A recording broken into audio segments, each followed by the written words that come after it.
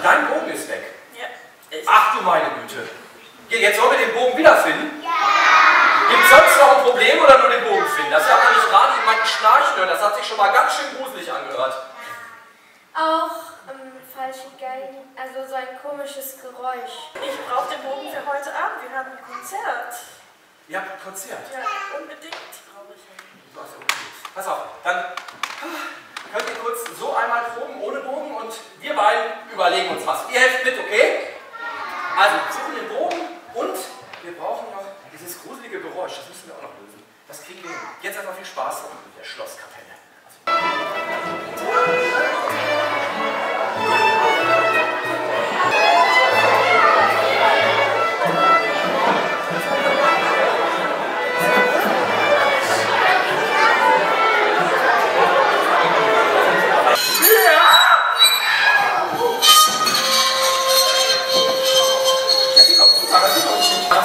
Wieder. Habt ihr es gehört?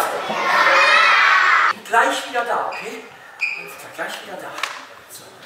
Kennst du den Gärtner? Ja, der kennt dich auch. Und weißt du was? Der, beziehungsweise dem hast du gestern deinen Bogen geliehen. Du wolltest ihm nämlich einen riesengroßen Wunsch erfüllen. Also mit dem Bogen, den du ihm geliehen hast. Und äh, die Telefonnummer von ihm gebe ich dir nachher. Also, der Gärtner hatte deinen Bogen, weil er sich einen großen Wunsch erfüllen wollte. Und zwar wollte der immer schon mal mit seiner Säge, mit der er sonst Bäume fällt und Bäume stutzt,